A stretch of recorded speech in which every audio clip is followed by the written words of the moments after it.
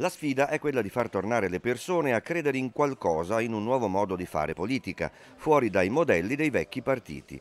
Si sono presentati così tre dei candidati al Parlamento per il partito Italexit, che fa riferimento a Gianluigi Paragone.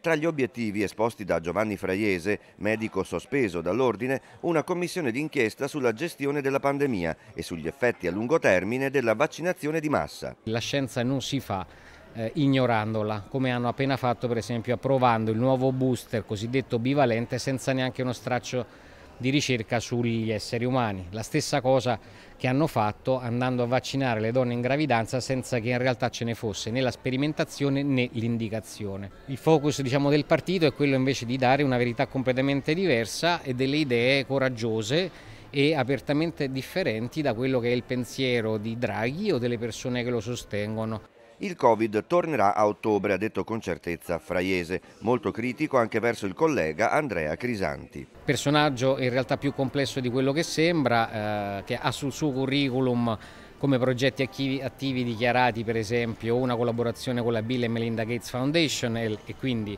una connessione in diretta con la Gavi Alliance e allo stesso tempo ha fatto progetti di ricerca ancora attivi per la DARPA che se non so se sapete cos'è, ma è l'ente di sicurezza più importante che c'è negli Stati Uniti dove vengono sviluppate le armi tecnologiche del futuro. Quindi diciamo un quadro oltre alla tessera del PD per esempio presa da quanto ha dichiarato lui stesso anni fa, eh, che in realtà eh, rendono l'operato eh, molto di tipo ideologico e molto poco di tipo scientifico. Presenti anche le candidate al Senato per il Collegio di Padova, Francesca Conz, medico odontoiatra, e Lina Manuali, giudice a Pisa. Alla presentazione alla stampa, tra il pubblico alcuni esponenti dell'estrema destra padovana.